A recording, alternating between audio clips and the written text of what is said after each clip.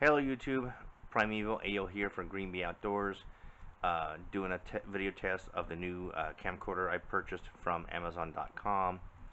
Uh, it's one of the uh, uh, inexpensive models, in fact it's uh, less than a hundred bucks. Um, don't know who the manufacturer is, um, I think it's L-I-N-N-S-E, um, doesn't mean anything to me. Um, it is an FHID 1920 uh, by 1080 pixel. I'm assuming that's a screen.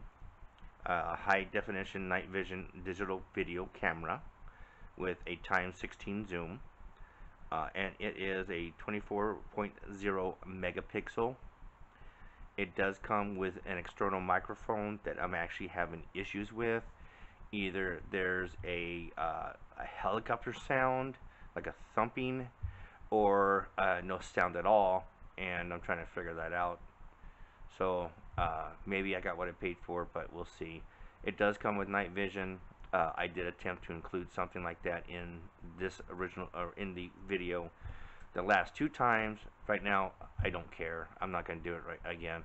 Uh, if I if I do something for night vision I'll uh, I'll you know post it but it does eat the battery up so let's see if this one works.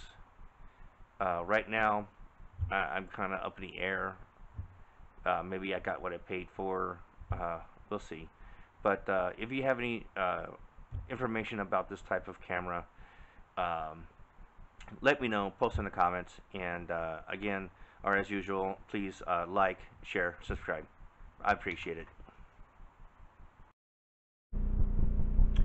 So I decided to do uh, a little night vision piece.